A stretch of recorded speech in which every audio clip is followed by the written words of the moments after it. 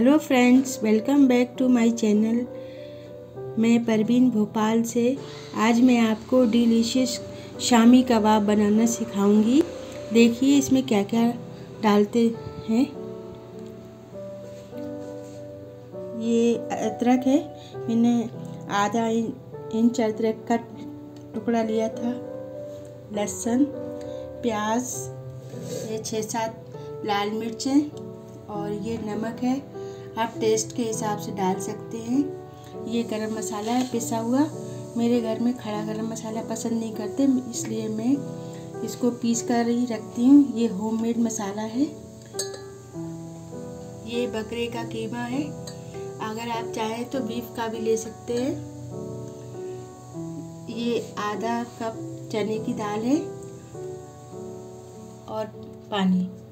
चल चलिए शुरू करते हैं। सबसे पहले कीमा जाएगा। ये न, मैंने वॉश करके रखा हुआ है इस कीमे को। उसके बाद आधा कप मैंने वॉश करके और भिगो के इस दाल को रखी थी। आधा कप ये जाएगी। और ये सब ड्राई मसाले। ये ओनियन ये लहसुन अदरक। अगर आप चाहें तो इसमें पेस्ट भी डाल सकते हैं। और ये गरम मसाला।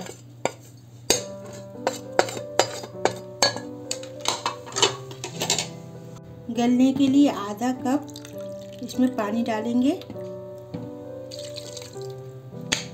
और मीडियम स्लो हीट पर इसको रखेंगे। वन स्पून धनिया पाउडर भी डालिए। मैं डालना भूल गई थी, मैं बाद में ऐड कर रही हूँ। शुरू में आप हाई फ्लेम पे रखिए। एक बिसिल लाने के बाद इसको आप मीडियम स्लो पे कर दीजिए। दो बिसिल लाने के बाद में आप चेक कर लेते हैं कि पूरा अच्छे से हुआ कि नहीं।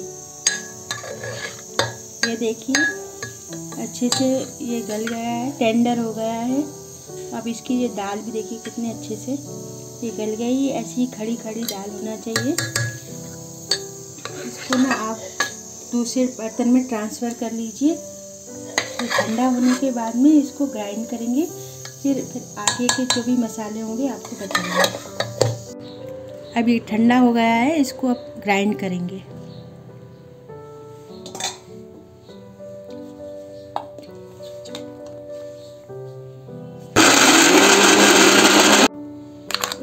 स्मूथ होना चाहिए, ये पेस्ट ऐसा बन जाए।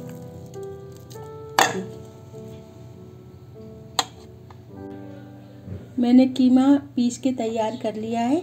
अब इसमें कुछ पाउडर मसाले डालेंगे। टेस्ट के हिसाब से नमक,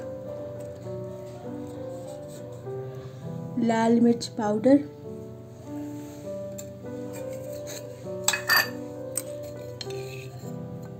गरम मसाला पाउडर ये भी ऐड करेंगे इसके अंदर। ये दो प्याज हैं, थोड़ा सा धनिया है और ये मिंट थोड़ा सा ड्राई मिंट है ये। और ये ग्रीन चिली ये अदरक, इसको ये डालने से टेस्ट इन्हेंस करेगा।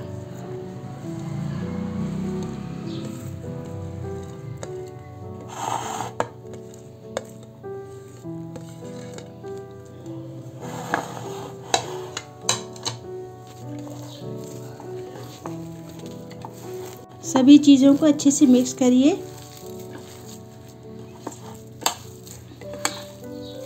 अच्छे से मिल जाए ये पूरे स्पाइसेस और ये सब ग्रीन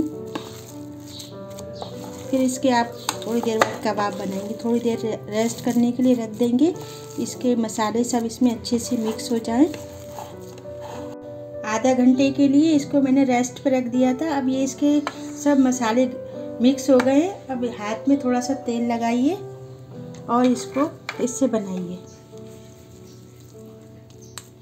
आपको जैसा मतलब बनाना है, जिस भी आप बड़ा या छोटे शेप में बना सकते हैं।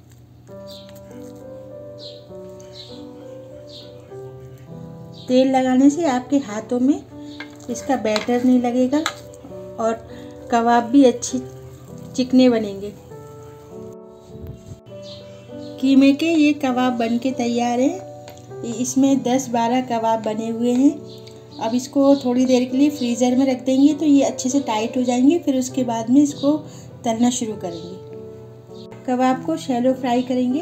पैन में मैंने थोड़ा सा तेल गरम करने के लिए रख दिया है। Two spoon. Medium slow flame पे रखेंगे इसको और कबाब तलने में कम से कम आपको पाँच मिनट का टाइम लगेगा। गर्मा गर्म कबाब खाइए?